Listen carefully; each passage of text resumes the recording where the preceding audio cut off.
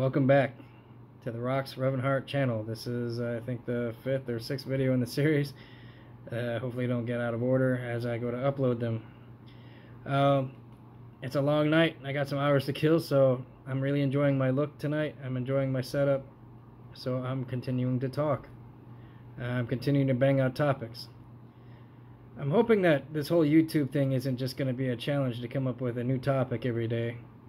But what else am I supposed to do? Record. My notepad of topics was destroyed, so I am kind of winging all topics anyway, which something I do anyway. I put all these ideas down, I end up not using any of them. I end up just winging it anyway. So, I've talked a lot of interesting things tonight about you know, being shy, being unworthy, blah blah blah, uh, being too ugly and unapproachable from my career paths, financially stable. Am I worthy because I'm not financially stable? Am I worthy because I have ambition, goals? I don't know.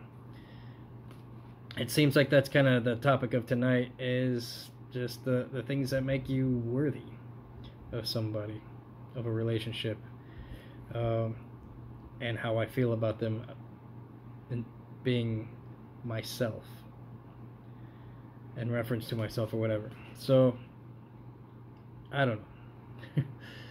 my last video was what am I doing with my life? And I couldn't answer that question too well. Trying to live, trying to survive, right? Trying to talk to my future self, whatever. Leaving my legacy is what my life is about. And that's what these videos are about.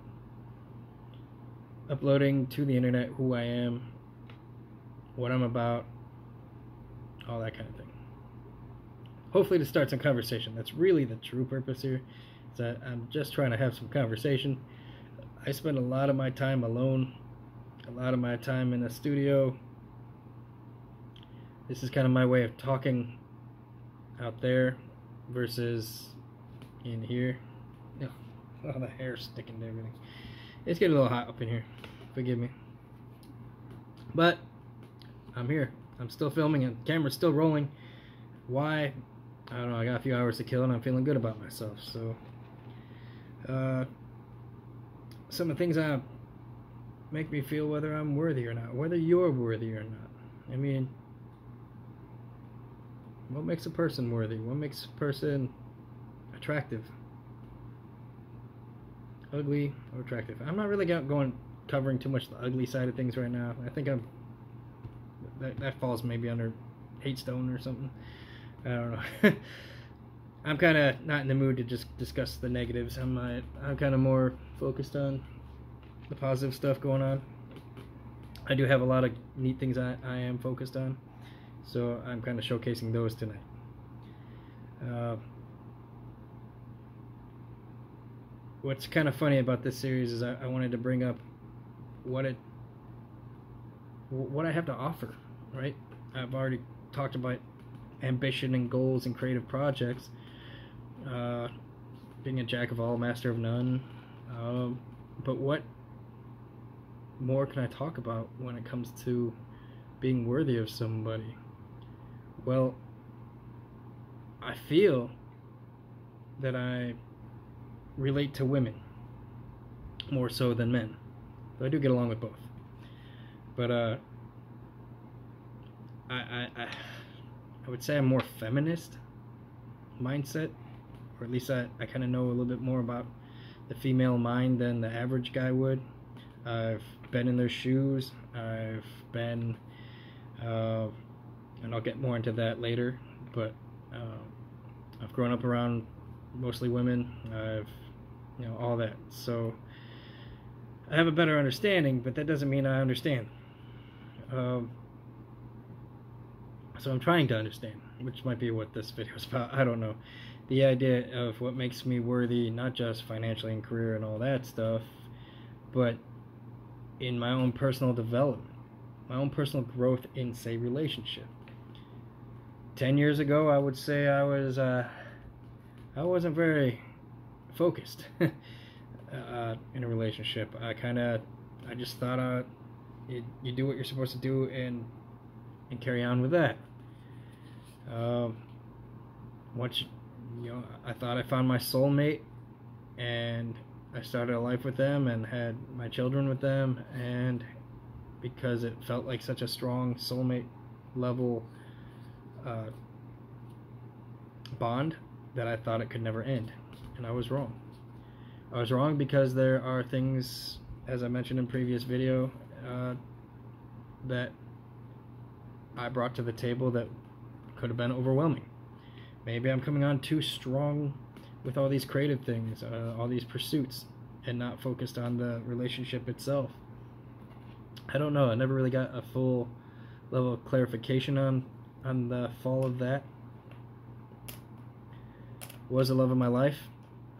It was soulmate level bond. It has left me rendered shattered, ruined, destroyed, and now rebuilding, which is what this is all about. Healing and rebuilding the Rox, Revanharte, the risen heart. I've gotta bounce back. I've gotta heal, and I've gotta get strong. So I am worthy of someone going forward. I haven't 100% given up on my past relationship, on my soulmate, as because I believe in an oath I left.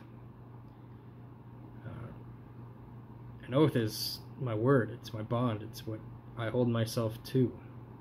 Not a lot of people nowadays do uphold their oath. Wedding vows, I uphold those to this day, even after divorce. I am hold, upholding my wedding vows to that same person because those vow, yeah, those vows were on a spiritual level. They weren't just limited to the flesh of this earth realm. I promised this person that I will take care of them through this life and the next, pursue them through this life and the next. That doesn't mean I need to go all creeper, stalker level post breakup and all that. That's not what that means. It means I bonded my soul to their soul one way or another. I'm going to continue my journey with them from this life to the next life and beyond. When a Rox bonds to you, we bond deep. But that doesn't mean we go psycho at the point of breakup. I understand that sometimes things just don't work out. People have different ideas, different paths they choose, and a different approach to those things. Doesn't mean I have to make an enemy of a fallen lover. I love this person. I give this person my life. And I'll lay down my life for this person to this day. As I hope the same in trade. But are you stuck with just one soulmate in life? I've heard you get three. I don't know what the true number is. I don't. I'm, I'm currently trying to decide whether or not it can be more than one. Um, for my sake, I really hope so because uh, I don't know where I fall with that one. And I'm not going to continue to pursue things and make things weird and, you know, ruin whatever's left of it. I still love this person and we're still good friends. We still get along. We still do everything together.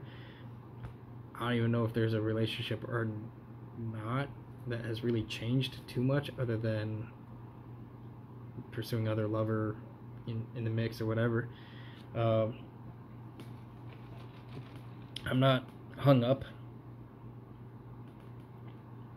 I try not to take that baggage with me. You gotta let a lot of that go. I mean, to move on to another relationship, you've got to be able to let some of that go. So, what I bring to the table for a continued relationship or a new relationship is an understanding to communicate with my partners. I understand uh, a lot of what it takes to kind of make things work as long as it's not pursuing things too hard and overwhelming somebody. Uh, for me, I should probably continue this topic in the next video, but romance I consider myself worthy of someone because I consider myself a deeply emotional and romantic person. Have I pursued all my creative ideas in romance? Hell no. Hell no, am I limiting myself to just the things I've already experienced in that department?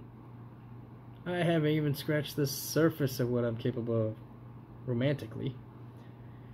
I was just learning before things came to an end. I was just starting to get it before things came to an end. So now I have a whole plethora of new ideas. So stay tuned to the next video. I'll go into that.